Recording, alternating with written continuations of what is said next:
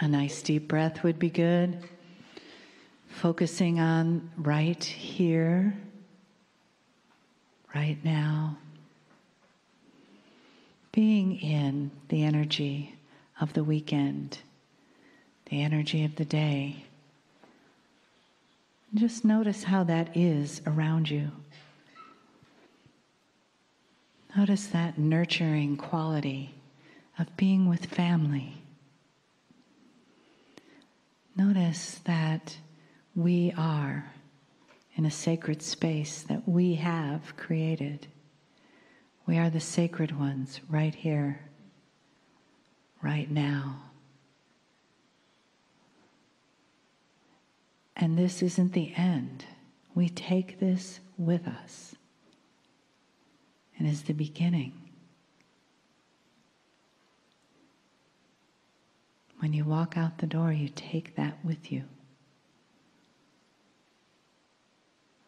You take it with you in you, as you, who is changed, who has perhaps had realizations in this love wash, perhaps one who has had aha moments, feeling the love in the room, feeling the love of family, and reawakening your own self love in perhaps a way that you haven't been ready to feel until now.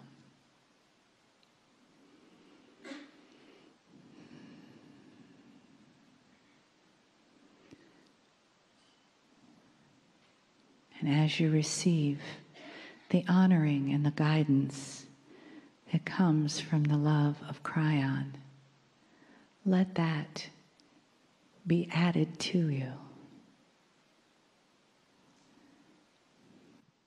Greetings, dear ones. I'm Kryon of Magnetic Service.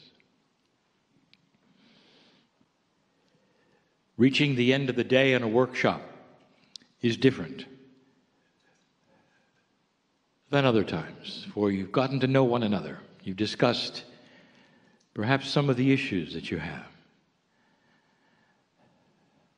There's more coherence. That word alone means a connection. And whether it's a connection between those parts of your body or whether it's a connection between individuals, you can feel it. It's easier if you feel it than if you define it. Coherence is when you start to understand that there's an energy in the room. The energy loves each of you. The connection is complete when you start to visualize the silver strands of love and compassion of creation that go between each of you and make a puzzle complete. There was a day when my partner started to channel, and he was learning. And he saw others channeling. He didn't know which method was correct or what to do. He sat in the chair and he shut his eyes like he saw many do in meditation. That was the beginning. Not much took place out of the ordinary until he started doing it in front of larger groups. And energy started to develop around the group, not my partner. As the group developed coherence together, the coherence was the connection between them and that which was the creative source the source of the connection. And that is when my partner decided to open his eyes. He never did it again. It distracted him and interrupted the channel. It broke the connection for him because what he saw, he was not prepared for. He saw light going between people. He saw colors around people. He saw the process of coherence, compassion, connection, love, whatever you want to say. It was too much. My partner says he's not a seer, he does not see energy. But while he is channeling, he does. And he would never open his eyes again because the channeling was interrupted. It was stopped because what he saw as a human being he could not conceive of, it did not relate, it did not compute. And for a few moments there was even fear. What he got to see was divinity between you. I want you to feel what he saw. And in the feeling of this, a little teaching. The difference truly between an older consciousness and a newer consciousness, between a time of, of darkness and light, between that, what was before 2012 and now, that is palatable for some of you. And there's a big difference. And part of it is what you are experiencing in the room. Coherence between individuals is much easier. When you drop the barriers and try to feel and see God in each other. Can you sit next to a stranger and know absolutely that you're connected? You're connected because souls are big, they overlap one another. The energy is something that is collective. And you start to feel one another, even though you don't know each other the difference between the old and the new, dear ones, is that there is far more coherence between you and the central source. And what this means is the old energy has you alone, working your puzzle alone, trying to figure out what you are supposed to do. A new energy in the light starts to give you a sense of coherence with everything around you, the puzzle around you, the people around you, and you get feedback. And in the old energy, you were not even sure. You didn't know. You questioned. You weren't certain. In the new energy, I'll give you a hint. We talk to you. We talk to you in situations. We talk to you in so many ways and those who are in the old energy and used to the old energy are still perplexed. You don't understand what we're saying. So I want to talk about timing.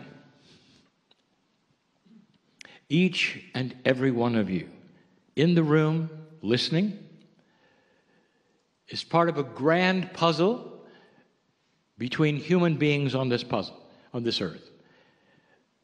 Now, light workers, meaning old souls, you have a more complex puzzle than most. For you are awakening and cognizing the fact that there is more light than there was before, and you, of all human beings, know how to use it. You've been working the puzzle of light and dark for eons. The earth has an, an, an expanding population. That should tell you where are the new souls coming from? They're coming from a pool of souls that haven't been here. And so that leaves you who have to guide the ones that have not. And you're not going to give them a course. What you're going to give them instead is coherence, love, compassion, understanding. But I want to talk about timing. You're unique. Each one of you, old souls, again, has a complete and separate path. What are you doing with your life right now? If you go around the room, if you sample who's listening, they'll all have a separate story. And so, how can we give teaching instructions about how you're supposed to know if you're in the right place at the right time? Especially those of you who have a compelling feeling you're supposed to be doing something. So let's address that compelling feeling. It doesn't matter what the something is, dear ones because it leads you into balance or helping others or helping yourself or an exposition of the light that you carry. Almost all of you ask the question whether it's how to discipline your child or whether it's how to write a book.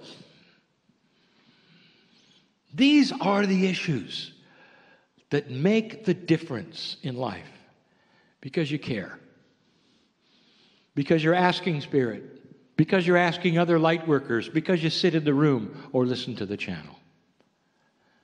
There are so many projects and puzzles and issues. Let's address the projects. In an old energy, I give you a metaphor. You got a ticket to ride the train. Now, that's a metaphor for you being given a push to do something. Now, we have said this many times the push creates a habit. The habit is what you've had from all authority since time has begun. When your father tells you to clean up your room, when does he mean clean up your room? And so the knee jerk reaction to the push from spirit to create something or do something, which comes through intuition, the result is do it now. And so you push yourself. That is an old energy aspect, and we have displayed it, expanded on it, and taught it for years. It's time for a new metaphor. You're given the ticket to the train. And then you're put in a box. in an old energy, the box was this I don't know if the train is here. When is the train coming? The train could be outside waiting for me. I'm going to miss the train. So I'm going to start right now. I'm going to be prepared. That push said I should do something. I've got the information. I know it's right. I got to write the book. I got to go over here. I got to start the healing center. I got to buy the land. I got to talk to this person or something. I've got to connect. That's the train. And you're in the box. You have no idea. And so you push yourself. And the result is you do it completely and totally out of timing. Come out of the box and you realize it didn't work. Then you start blaming yourself. You don't know where the train came and went. You missed the train. Of course, that's human nature. If the train isn't there, you missed it. you never said, well, it hasn't come yet. now let me expose the new energy. You get the ticket, and you're not put in a box because now the track is illuminated. And so you stand with the ticket and you wait for the train. Or do you? If the train is not on the track, that is a perfect signal in the daylight to say it's not ready yet. You're not getting on a train that isn't there. Are you getting this? When the train arrives, you get on it and you begin the project, you finish it, you work on it. If a train isn't on the track, it means it's not time yet. Even if you have scheduled a time for your own project when you think you can, or when you should, or whether it's convenient, or whether it's efficient, it doesn't matter if the train isn't there. So, in the new energy, the operative word is see the track, see that it's a signal to you, you're getting feedback. It's not ready. You're not in the box worrying, wondering. You're right outside looking at the track. And if the train isn't there, that means be patient. Schedule another time. Wait a bit because it's coming. Look, at you got the ticket. The ticket is the intuition you're supposed to do this. But now, in this new energy, there is a beautiful thing to say to you that you're out of the box looking at the track. Don't pull the old paradigms into the light that says you don't know, or it's not working, or you're stuck. No, you're not. The train isn't there. Simple. And then you're going to say, well, when is it coming? You know, it's coming when the puzzle starts to be complete, when the things around you are moving so it's going to work. You don't want to start something that's going to fall on its face because others aren't ready or because the information is not complete. You don't want to start that. That's old energy things. You've all done that, dear ones, all of you. You've made it happen too soon. You've jumped the gun, as they say, because you were in the box. You didn't know. You got information and acted on it. That's what humans do. But suddenly, an old soul with wisdom will get the intuition and go, I love this information. The train isn't here yet. Dear Spirit, when the timing is right, show me. Dear Spirit, when the train has arrived, make it clear to me. That is when I will perform. That's when I'll act. And that's when everything's going to come to me that should come to me. Instead of me pushing and pushing and worrying and saying, Why am I stuck? Am I getting through? It's beautiful. The light is here to show when the train is coming. Rearrange your schedule to coordinate with the messages that are being given to you so clearly. Don't interpret the messages incorrectly see them for what they are. This is new. There is guidance here in the way things are working or not working for you. And if you push and they don't work, stop and wait until the train arrives. There has never been a time like this where the clarity of your movement is being targeted to you in this way. But so many of you listening to this are not understanding it. And now is the opportunity for you to clear the boards, cognize what I am telling you, and accept this marvelous light from Spirit that wants to guide you to the right place, take you out of the box, and make you understand that situations that you encounter are not situations that are accidental. They're giving you a message go, stop, wait. Never before has it been so clear. But again, in the old energy, you just thought you were stuck. So I want you to proceed from this point on with this information. Spirit is connected to you by a beautiful silver thread. All of you. And this silver thread, this metaphor, can never be broken. Whether you choose to see and use the thread is your free choice. But when you see it and you grab a hold of it, that's when the communication starts.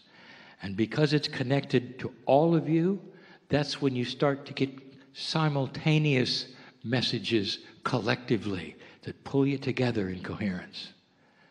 To try to make things happen and will happen that haven't happened before on this planet. When the coherence between humanity reaches even a marginal point, there will be peace on earth. For the coherence is the agreement of compassion between all humanity that you will never kill each other again by design.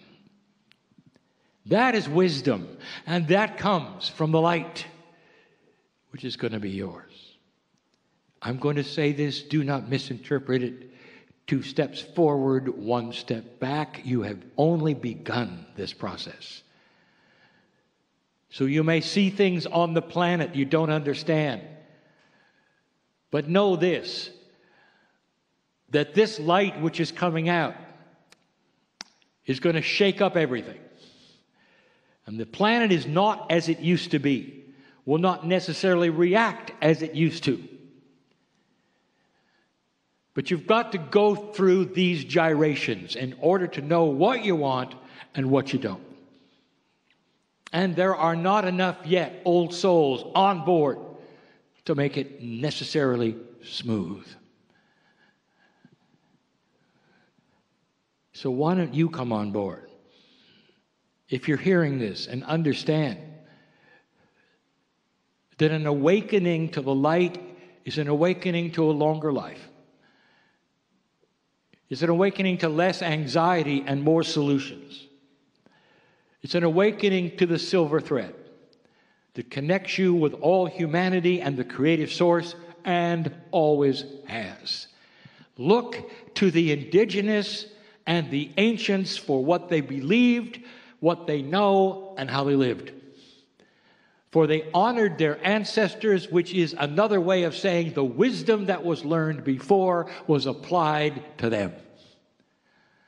They honored the earth, which is to say, they understood the connection between Gaia and humanity. They breathed the air that Gaia gave them and said thank you. And there was an alliance between them and all things that created something that lasted and lasted and lasted. Let this connection begin again with modern society. Let the light come out so that you will understand the signals from Spirit to go, to come, to be. What if I told you that the ancients actually had those signals? And they saw them in the animals in the sky, in the stars, and the planet. They planned on them, they believed in them. I'll tell you, the creative source gave them what they asked for. And that's how they guided their lives.